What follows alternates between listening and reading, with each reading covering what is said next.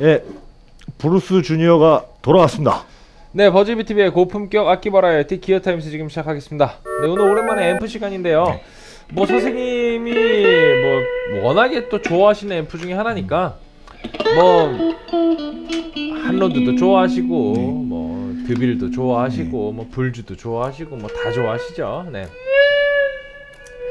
그, 그 중에 이제 블루스 주니어가 가성비가 상당히 좋아서 어, 여러분들이 막 그 좀 100만 원대 막 중반까지 가기가 약간 부담스럽다라고 하면은 100만 원 언저리에서 바로 그 Fender의 어떤 어, 좋은 사운드, 진공관 사운드를 만나볼 수 있는 딱 최적의 기회라고 할 수 있는 바로 그런 앰프인데요.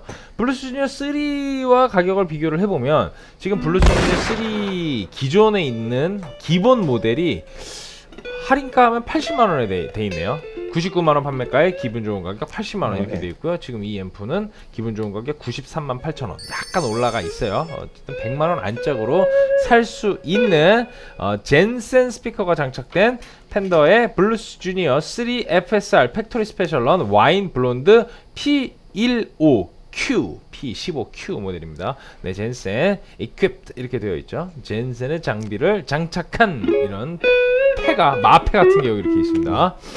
네, 원래 기존의 모델은 Eminence였어요. Eminence? Eminence의 Lightning Bolt 네, 스피커가 장착이 되어 있었죠. 네, 근데 거기서 이제 색상이 조금 더 좀 소장 소장하고 싶은 느낌의 네. 네, 좀 예쁘장한 색상으로 바뀌고 그리고 이 앞쪽에 뭐 그릴도 노랗게. 더, 네, 먹음직스러운 느낌으로 네, 세팅을 하고 그리고 Jensen의 스피커를 사용을 해서 약간의 톤 차이를 준 사실 저는 차이를 잘 모르겠습니다만 선생님이 들으면 아실 테니까 이따가 상세한 설명을 부탁드리겠습니다. 네. 자, 네. 노브 살펴보겠습니다. 간단하죠 뭐. 네, 인풋 있고요, 볼륨 있고요, 여기 fat 있고요. 그 다음에 네. three band 이퀄라이저, 마스터, reverb, on off 끝입니다. 끝입니다. 네, 뭐 뒤쪽으로 보시면은 없습니다. 네, 그냥 그릴에다가 이 뒤쪽에 진공관이 있는 거 보실 수 있고요. 밑에 하단부에 오픈되어 있고요. 진공관은 어떻게 들어가 있는지 한번 볼까요? 자, 진공관은 자 다섯 개인가 다섯 개인가 들어가 있을 거야 뭐. 이, 네, 그 다섯 개인데 프리앰프에 12AX7 세 개가 들어가 있고요. 파워앰프에 EL84 두 개입니다. 이게 똑같으려나? 네, 맞습니다. 네. 똑같고요. 네. 그리고 무게가 기존이 14.06kg인데 이것도 똑같습니다. 네, 그래서 무게 그 정도 14kg 정도 갖고 있다고 생각하시면 되겠고요. 어, 자, 그러면 이제 뭐 사운드 바로 들어봐야죠. 저 fat을 끄고요. 네. 네, 싱글 코일 사운드를 듣고 계십니다. 네. treble.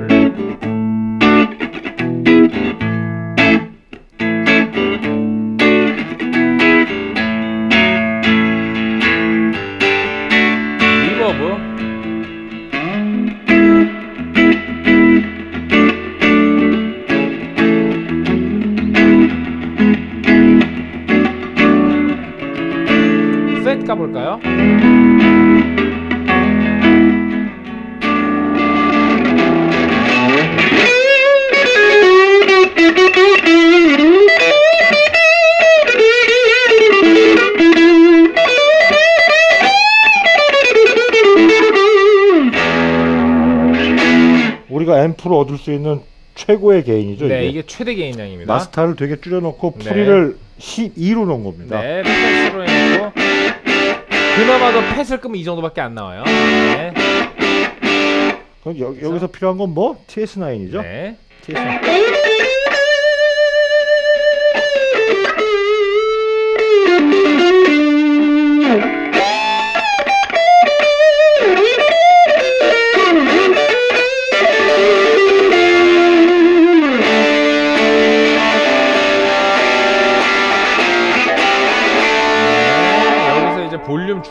마스터 올린 상태에서 TS9 쓰면 이런 느낌이죠. 네.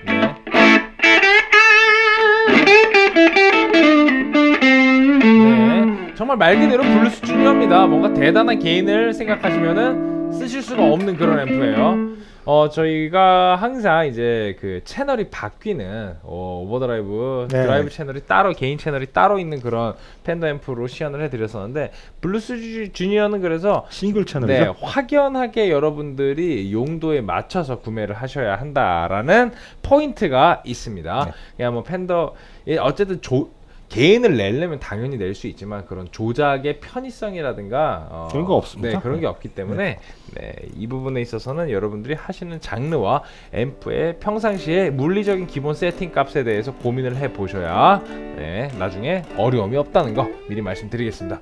자 이번에는 Seth Lover를 또. 선생님이 네, 이 사람 그 서운함을 마음껏 표현하시면서 이름에 love가 들어갔는데도 이렇게. 싫지. 아, 이름은 참 사랑스러운데요. 네, 네 그렇죠. 직장 상사 뭐 김사랑 부장 이런 거 네, 아닙니까? 그럼 네. 그렇죠. 네, 아주 아주 사람이 못될 것 같아요.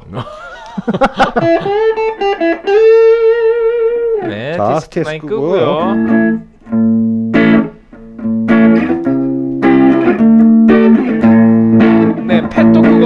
왔는데도 아주 deep한 소리가 납니다. 베이스 mid를 다 깎고 treble을 올려야 이 정도 소리가 나요. 베이스 mid 0에 treble 12인데 이 정도입니다. 베이스 조금 올라가도 난리가 나고요. middle도 마찬가지입니다. 자, 팻 들어볼게요.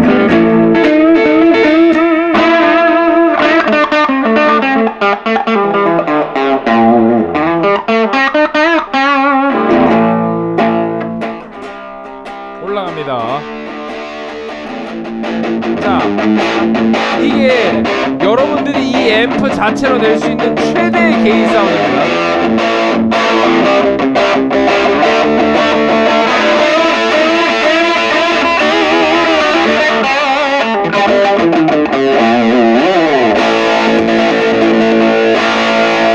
네, TS9. 그래도 그나마 강하네요 험버커가. 네,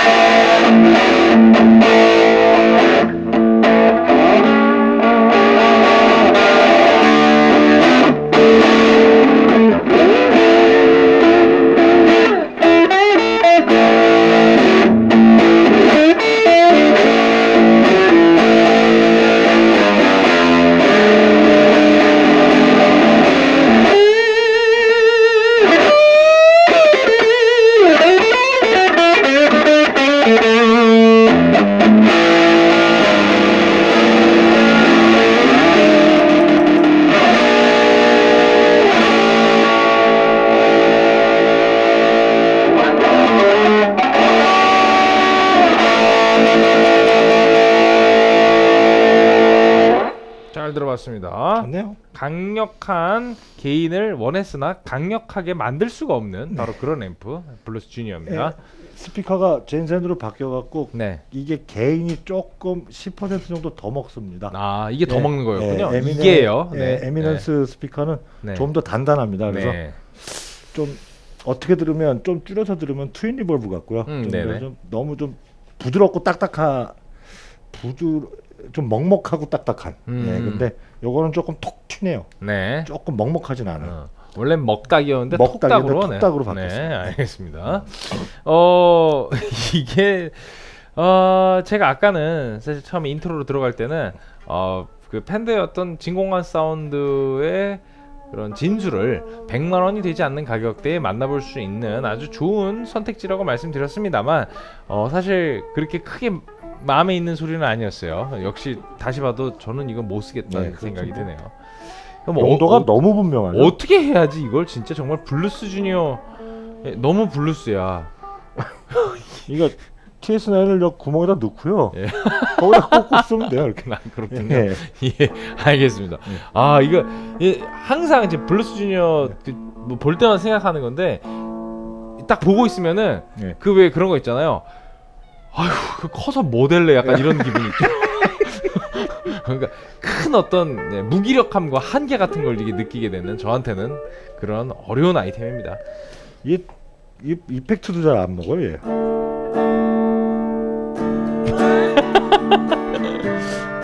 네. 뭐 먹은 것 같아요? 안 먹은 것 같아요? 예, 그러게요. 진짜 뭔가 하다 만 것 같죠? 네. 네. 어, 커서 모델 되나 얘는? 네.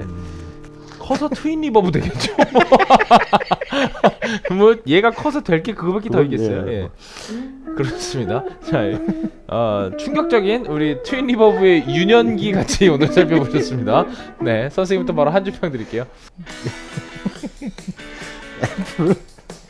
앰프는 앰프는 꼭 소리를 들어보고 구매하시는 게 맞죠. 네, 그렇죠. 기타는 이쁘면 사면 됩니다. 네, 예, 앰프는 꼭 소리를 들어보고 사십시오. 꼭 네. 쳐보고 사십시오. 나는 이뻐서 살랍니다. 알겠습니다. 이쁩니다. 멋있어요. 네. 어, 이 아이는 커서 트윈 리버브가 됩니다. 이렇게 드리도록 하겠습니다. 네. 어, 참 그것도 Twin Reverb도 채널이 하나 늘어나고 성공했을 경우에 예. 네, 그렇게 성장하는 거지. 야, 이거 잘못 잘못 크면 Deluxe죠. 예, 잘못 크면은 Blues Deluxe. 네, Blues Deluxe가 되는 거죠. Blues Deluxe도 아니고 저 Deluxe Reverb. 네, 아니면은 아예 그냥 어, 업종을 전향해서 AC30 이렇게 갈 수도 AC30 있어요. 갈 수도 있어요. 그래서 아주 어려운 악기들이죠. 네. 아주 어렵고 사실은 저희가 이렇게 농담처럼 말씀드립니다만 아주 어려운 명기들이에요. 네. 사실은 용도가 분명한 그런 악기들이고 요새 우리가 너무 다용도의 high high technology에 예, 예. 편안한 악기들에만 익숙해져 있다 보니까 이런 것들을 보면은 아, 어떻게 써야 할지 약간 당황스러운 그런 느낌이 생기지만 그래도 용도가 분명할 땐 또 그만큼의 엄청난 화력을 뿜어내 준다라는 거 이 사실을 기억을 하시고요. 여러분들 구매에 어, 잘 고려할 수 있는 어, 여러 가지 포인트들을 찾으셨길 바라겠습니다. 예, 뭐 꿀팁을 드리자면 오늘 7시에 여기 홍대 어디선가 공연을 하는데 이펙터도 없고 케이스나인 없고 나 팬도 기타 딸랑 하나 있고 이거 하나 있다. 그러면은 점심 시간이 한 1시쯤부터 켜놓으세요. 아, 한 7시간 켜놓으면 네. 좀 낯설다.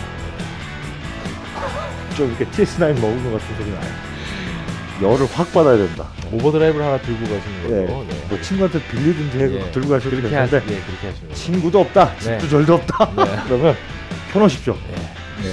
그러면 조금 더 익은 소리가 예, 좀 난다고. 합니다. 알겠습니다. 이걸 TV라고 이걸. 야 정말 당도가 하나도 없는 꿀팁이다. 네. 야, 네. 알겠습니다. 네 점수 드릴게요. 야 꿀팁. 네. 멋있지 않습니까? 여러분? 어떻게 해야 되지? 이건 이거 이거 잘 모르는 앰프니까. 스튜디오 냉면. 몇 대? 네? 제가 8.5. 6점. 팬더만 나오면 이렇게 확 갈리죠. 예. 특히 이런 친구가 하면 이런 친구일수록 난리가 나죠.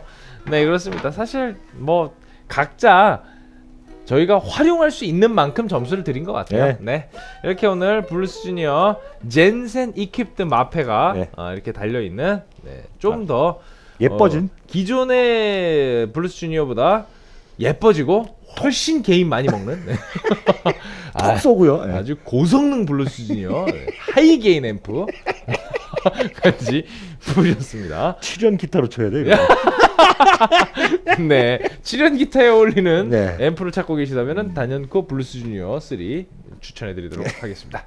네, 다음 시간에 더 재미있는 어, high gain 어, technology가 가득 담긴 그런 앰프로 어, 찾아서 어, 돌아오도록 하겠습니다. 네, 재밌었습니다. 네. 네. 다음 시간에 뵙겠습니다. Gear Times 더블 타임스.